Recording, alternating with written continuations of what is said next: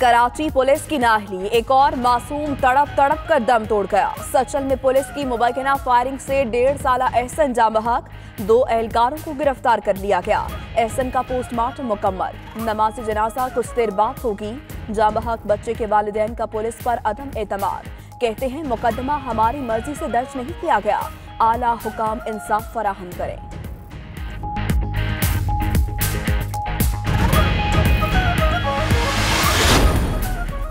مشیر اطلاع سینٹ مرتضی وہاب کا کہنا ہے کہ حکومت احسن کے والدین کو انصاف دلائے گی۔ پولیس مقابلے کی مکمل تحقیقات ہوں گی۔ پی ٹی آئی رہنما خورم شیر زمان کہتے ہیں کہ حالات بہت خراب ہیں۔ پولیس کی ٹریننگ ہی نہیں کی گئی۔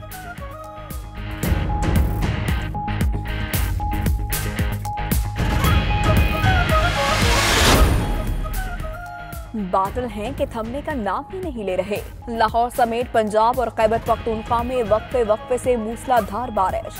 حویلی لکھا اور گجراوالا میں چھتے گرنے سے تین بچیاں جا بحق دس افراد زخمی یالا باری سے فصلیں تباہ ہو گئیں۔ پشاور میں طوفانی بارشوں سے بجلی معطل ہو گئی۔ بارش کا سلسلہ آج بھی جاری رہے گا۔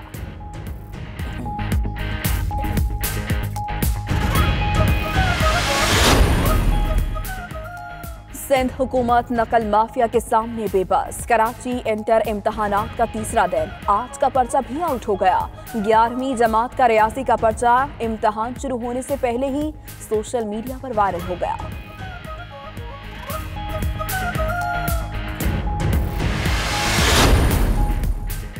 کراچی پولیس کی کورنگی صنعتی ایریا میں کارروائی۔ تین شہروں میں سو سے زیادہ وارداتیں کرنے والے تین ملزم گرفتار۔ پولیس کے مطابق ملزم ڈکیتی اسٹریٹ کرائم، بیرون ملک سے آنے والوں کو لوٹنے کی وارداتوں میں ملوث ہیں۔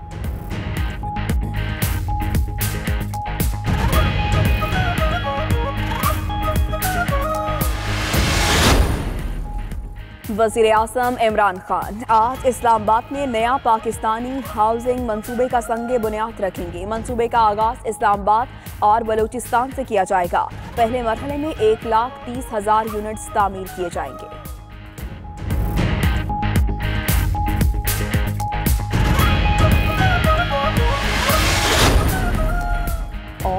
امریکی صدر نے یمن جنگ میں سعودی اتحاد کی حمایت ختم کرنے کی قرارداد ویٹو کر دی۔ قرارداد کانگریس کی جانب سے پاس کی گئی۔ امریکی صدر کہتے ہیں قرارداد غیر ضروری اور ان کی آئینی اختیارات کو کمزور کرنے کی خطرناک کوشش ہے۔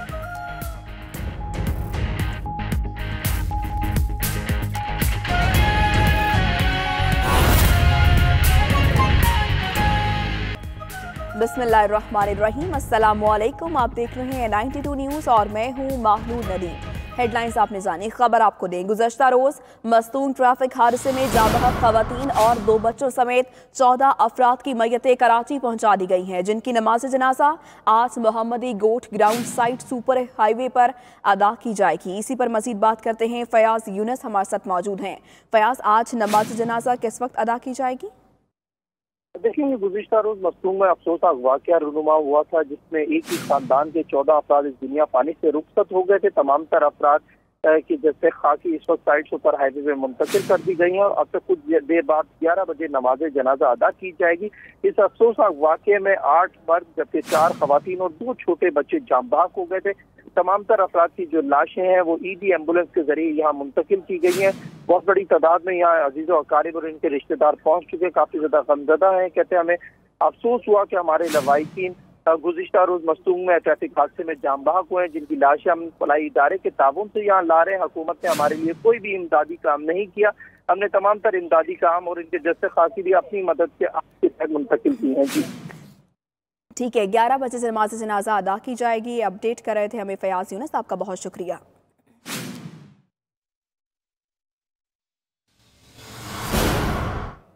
اطلاع کراچی سے، جہاں پر انٹر امتحانات کا تیسرا دن ہے، پرچہ آؤٹ ہونے کی بھی ہیٹرک ہو گئی ہے۔ گیارہویں جماعت کا ریاسی کا پرچہ آدھا گھنٹے پہلے ہی آؤٹ ہو گیا ہے۔ اسی پر مزید بات کرتے ہیں احسن چانڈیو، ہمارے ساتھ موجود ہیں۔ احسن، یہ کیا معاملہ ہے؟ دھڑا دھڑ نقل جاری ہے، کہاں ہے سندھ انتظامیہ؟ جی بالکل دیکھیں، انٹر امتحانات کا باقاعدہ آغاز ہو چکا ہے۔ پہلے دن سے دیکھیں آ رہا ہے کہ پرچہ آؤٹ ہونے کا سلسلہ رک نہیں آ رہا ہے۔ آج تیسرا روز ہے اور تیسرا پرچہ جو ہے، آج میتھمیٹکس سے گیارہویں جماعت کا پرچہ تھا۔ وہ بھی آدھے گھنٹہ پہلا وقت سے قبل جو ہے، وہ آؤٹ میڈیا اور سوشل میڈیا کی زینت بن چکا۔ ہر کسی کے پاس جو ہے وہ وقت سے قبل ہی جو ہے وہ پرچہ تھا اور ہر جگہ پرچے بھی جو ہے وہ واٹس ایپ گروپوں میں جو ہے وہ ایک دوسرے کو شیئر کرنے کا سلسلہ جاری ہے۔